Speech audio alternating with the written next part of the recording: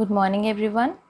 Today in this video I will explain you how to find out the LCM by division method. So see the example number 70, 110 and 150.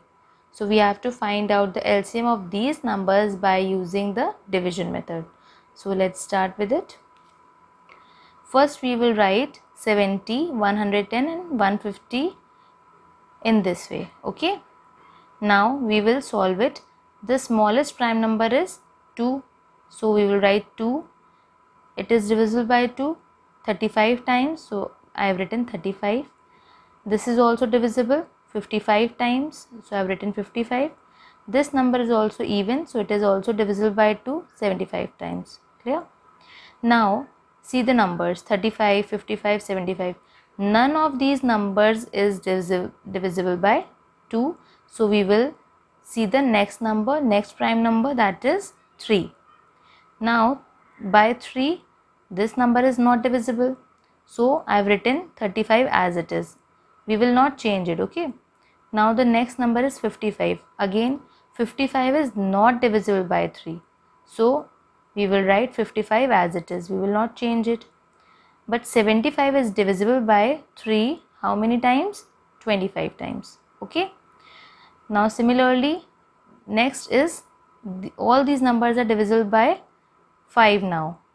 None of the number is divisible by 3 so we will write 5 here. 5 7s are 35 5 11s are 55 5 5s are 25 clear? Now see 7 is not divisible by 5 so I have written 7 as it is. Then 11 is also not divisible. So write 11 as it is. But 5 is divisible by 5 how many times?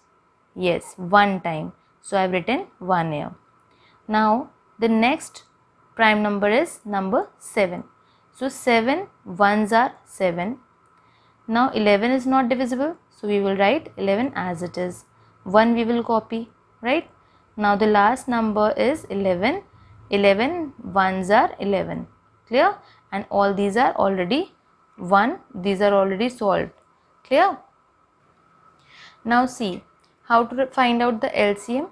Write all these prime factors that is 2 into 3 into 5 see 2 into 3 into 5 then 5 into 7 into 11 5 into 7 into 11 now solve these numbers.